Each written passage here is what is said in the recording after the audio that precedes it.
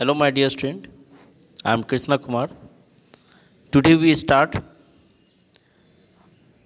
a lesson pressure. First, we see here pressure increase with depth. The deeper into a liquid you go, the greater the weight of liquid above and the higher pressure.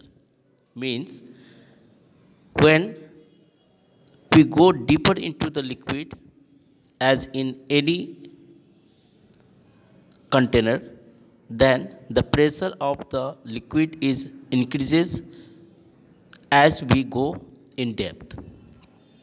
So pressure of the liquid is depend on the depth of the liquid. The pressure depends on the density also of the liquid. The more denser the liquid the higher the pressure at any particular depth. As we see in this figure, there is a two kind of the liquid. One is oil, another one is water. Oil is less denser than the water and that's why there will be the pressure exerted at the same depth will be the difference as the oil has the less pressure exert in the same depth as in compared to the water. In water, the pressure is exert is higher than the oil as in the same depth. Now, the pressure does not depend on the shape of the container.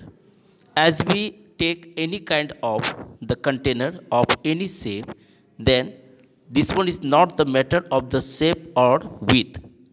The pressure at any particular depth is the same whenever we go in any water body as like the ocean or in river or in pond where we go the depth is the matter for the pressure not the volume of the water. Now we see the atmospheric pressure. Atmospheric pressure is the pressure of air around us. Atmospheric pressure is due to the weight of air and as well as we go up then the pressure it decreases because the density of air in our surrounding it decreases. The weight of an air column of the height of the atmosphere and area 10 by 10 centimeter is as large as 100 kg. So here show that the how the pressure is exert on the column Atmospheric pressure is the pressure of the air. The atmosphere is the layer of air enveloping the earth. It extends up to 1000 km above the surface and has a total mass of 4.5 into 10 power 2 kg. This one is the approximate weight of the air in our surrounding. The pressure inside our body is almost the same as the external pressure and so balances it.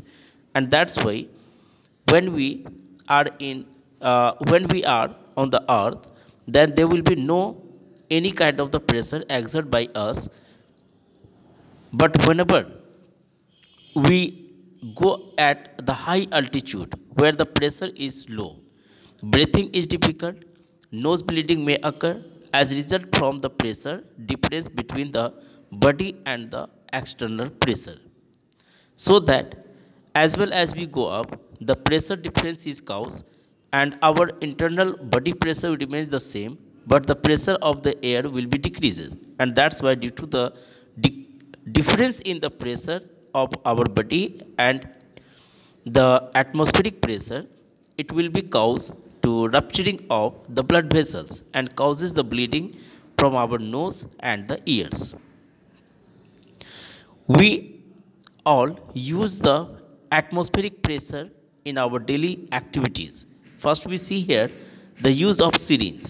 When the piston is pulled up, the atmosphere pressure inside the cylinder will decreases.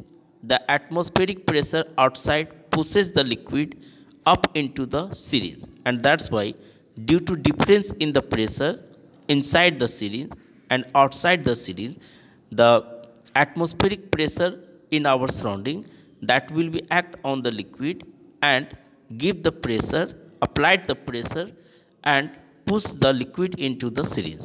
And that's why the liquid is entered into the syringe in very easy way. The second things we see here the straw use of the straw. When a person suck through the straw the pressure in the straw become low. Because the air is removed out from the straw and that's why the air pressure in the straw becomes the low.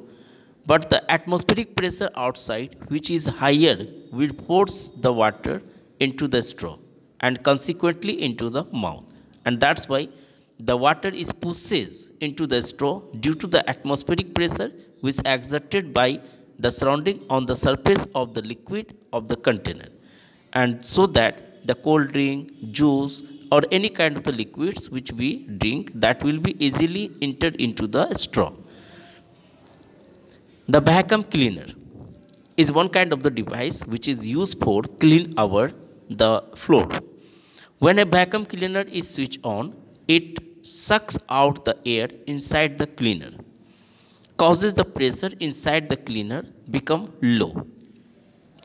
And that's why when we start the vacuum cleaner, we switch on the vacuum cleaner, then the pressure inside the vacuum cleaner become low due to uh, air is come out from the vacuum cleaner the atmospheric pressure which is higher in magnitude forces the air and the dust particles into the cleaner and that's why the dust particles of our floor start to enter into the vacuum cleaner and clean our floor and this one is the use of the vacuum cleaner in our daily activities by the use of atmospheric pressure.